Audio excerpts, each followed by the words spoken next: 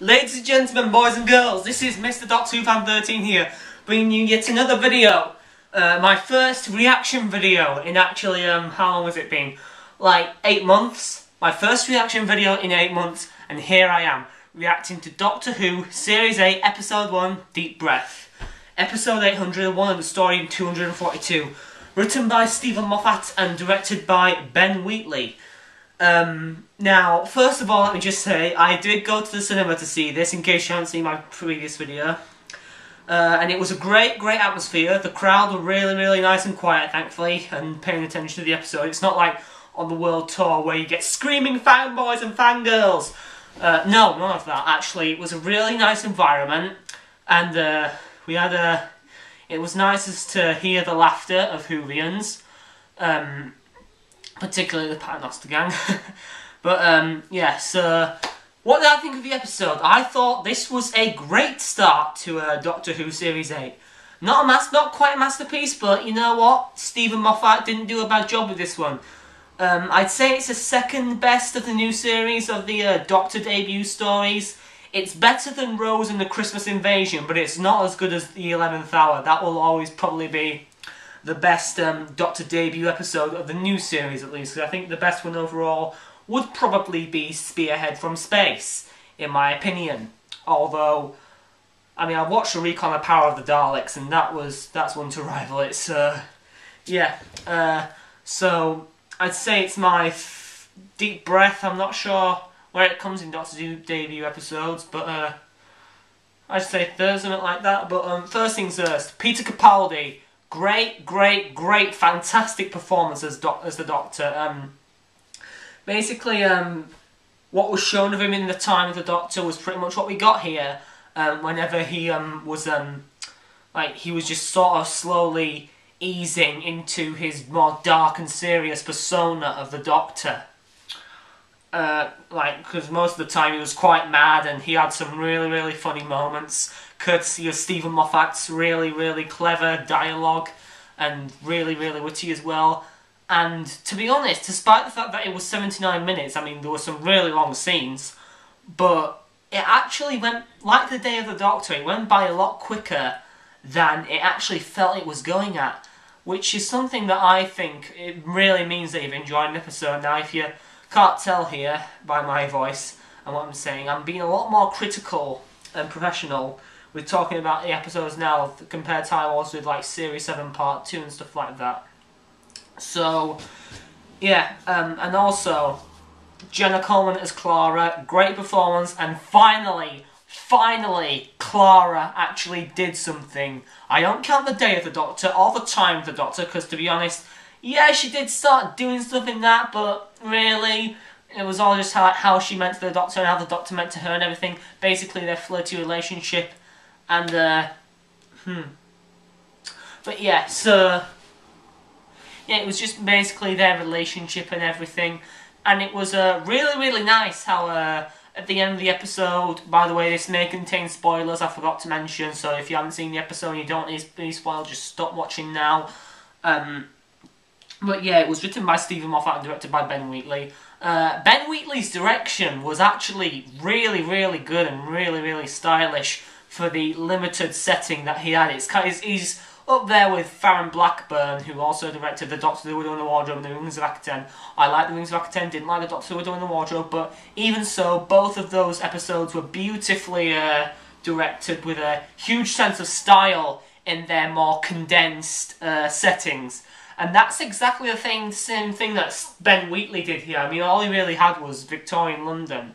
And the dinosaur, the CGI on that was fantastic. I mean, uh, to be honest, I've one of the problems that I had with the episode is that I felt as though the dinosaur should have been in more of it, but uh, but I mean, you can tell pretty much in, in the live Q and A afterwards. Uh, Steven Moffat actually said that he uh, hadn't written the plot. He had no idea what the episode was going to be about but he thought of just introducing the Doctor in a very unique way by having him crash land, uh, or basically the dinosaur spit out the TARDIS in Victorian London, and very clever idea, Steven Moffat, but don't, uh, but to be honest, um, spoiler alert, the dinosaur dies in its second scene, and uh, it's talking to the Doctor. And to be honest, whenever that happened, I felt as though we had a missed opportunity. I mean, a dinosaur rampaging around Victorian London. I mean, it's. I mean, it's. Uh, it didn't feel like. I mean, there was a sense of panic at the beginning, but then it just cut straight to night, and it felt as though it really could have been done a lot better. But despite that, uh, there was one other thing I didn't like about this episode: uh, the Paternoster Gang.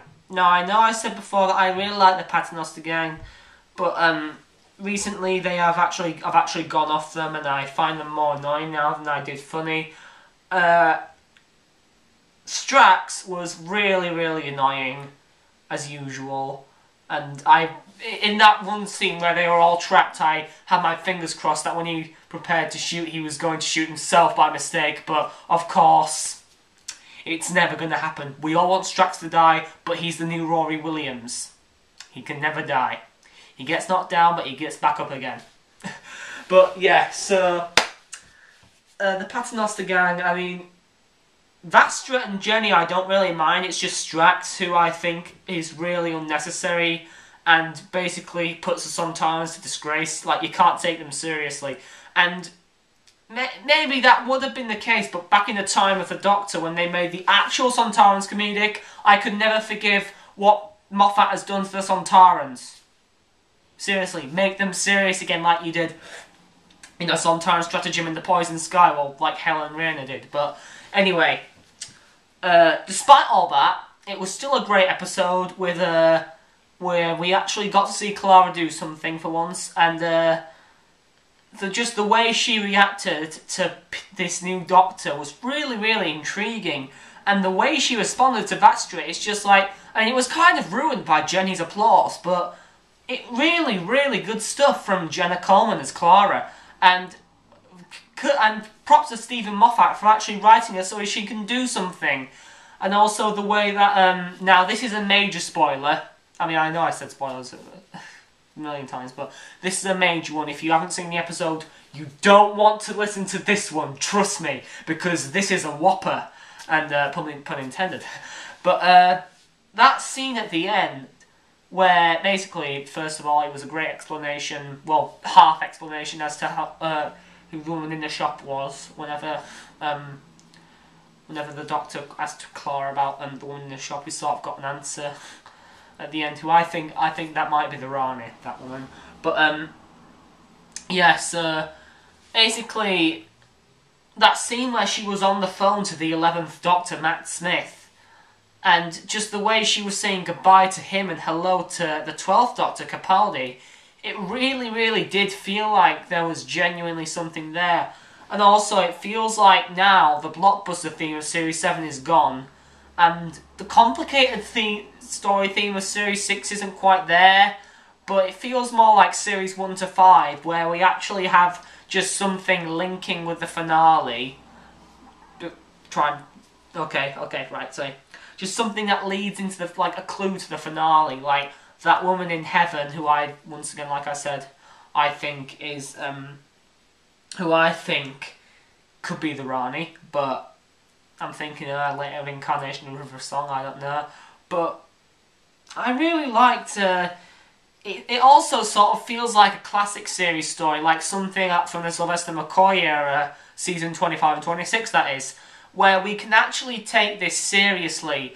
And Capaldi's Doctor incorporates tons of elements, especially, in my opinion, from Tom Baker and Jon Pertwee and stuff like that. And you can really, really see some William Hartnell in there as well. He's really grumpy. He's really, really dark and serious. And like the Tenth Doctor, he doesn't really doesn't look like the type who'd be giving second chances. So he's incorporated some of the best themes from some of the previous Doctors as well as delivering his own elements to the table. Like, he's just simple, straight to the point, a no messing Doctor who will kick your ass. So, yeah. That's, uh, I'm really impressed by Capaldi's performance and the dialogue, the writing that Steven Moffat has done for him, and the way that Ben Wheatley just directed him. So, yeah. But overall, I really enjoyed Deep Breath. Uh, it had a couple of problems, but overall it was still great entertainment and a really, really good debut story for Capaldi's Doctor. And uh, the next time trailer for Into the Dalek has got me intrigued. Although, to be honest, it looks a bit like Let's Kill Hitler meets Dalek, and I really, really hope it's not that because Let's Kill Hitler was absolute pants. But, uh, but to be honest, it looks like um, it does look like it's going to be. It looks promising. I'll give it that. And uh, but I'm a bit skeptical on it because Phil Ford's writing it, which I have no problem with. But with Steven Moffat, and unless you count the Day of the Doctor and the Time of the Doctor, the last time we got a Dalek story from Steven Moffat was Asylum of the Daleks. That was absolutely abysmal. And I know that the show is pretty much going in a direction now where it's trying to forget about Asylum, what with the reboot in time and everything. But, uh, just Moffat. I really hope you've learned your lesson. I really, really do. Because Asylum of the Daleks was absolutely terrible and I hope you're, you know, I mean, if you've got Phil Ford uh, helping you with this script, uh, I think he is the main writer actually, is Phil Ford. Well, if you're helping him, just, just make it good, please. Let Phil Ford do most of the work, and yeah, so that's all I can really say. I have a neutral, mixed expectations for Into the Dalek, but I really enjoyed Deep Breath. Uh, it's been written by Phil Ford and Steven Moffat and directed by Ben Wheatley again. So I really look forward to seeing Into the Dalek next week. And uh, I quite enjoyed uh, Deep Breath, like I said a million times before. So I will see you guys next time. This is Mr. Doctor Who, 13, saying word out. And please post a comment. Post a comment on what you thought of Deep Breath. Have you seen it yet or have you not seen it yet? Did you love it? Did you hate it? Did you think it was a mixed bag or whatever? Uh, I'm seeing reactions from all over the place here. Some people thought it was brilliant, some people thought it was absolutely horrible, and some people thought it was meh. So, yeah, I'm really, I'd be really intrigued to see what I get in the comments of this video. Just uh, people's thoughts on Deep Breath. So, that's going to be that for now. This is. Doctor 2013, and I'll see you next week for Into the Dalek.